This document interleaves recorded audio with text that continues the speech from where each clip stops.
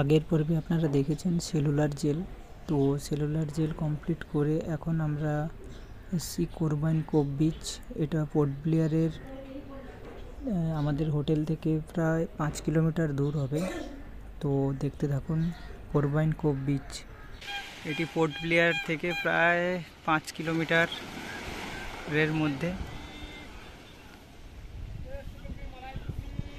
ঢেউ, দারুণ ঢেউ এখন। ওয়েদারটা মেঘলা। ঢেউগুলো অপূর্ব অপূর্ব ঢেউ। সাইডে নারকেল গাছ।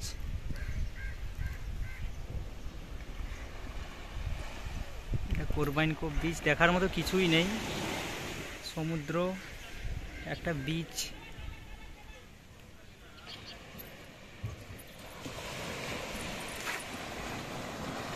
ঢেউগুলো অসাধারণ ঢেউ অসাধারণ ঢেউ।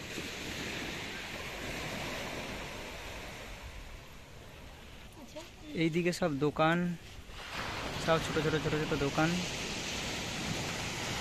ঢেউগুলো সাউন্ড যেরকম দেখতেও দারুণ ঢেউ এক একটা ঢেউ।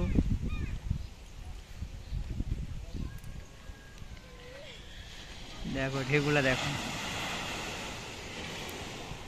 এক একটা ঢেউ কি? দারুণ ঢেউ। আজকে হলো ওয়ার্ল্ড ট্যুরিজম ডে। সেই জন্য এখানে কিছু অনুষ্ঠান হবে। বিকেলে বেলা, সন্ধেবেলায়। ঢোকার সময় বলেছিল ওই গেটে কি? গেটে বলছিল না? তারই বন্দোবস্ত চলছে এখানে। দারুণ জায়গা, দারুণ দারুণ দারুণ।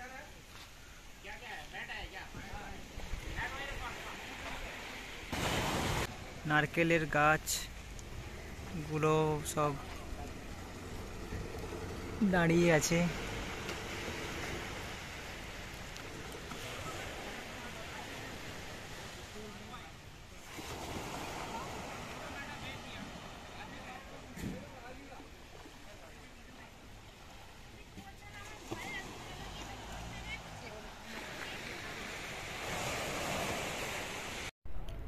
কোরবাইন কোপ বিচে আর দেখার মতো কিছুই নেই।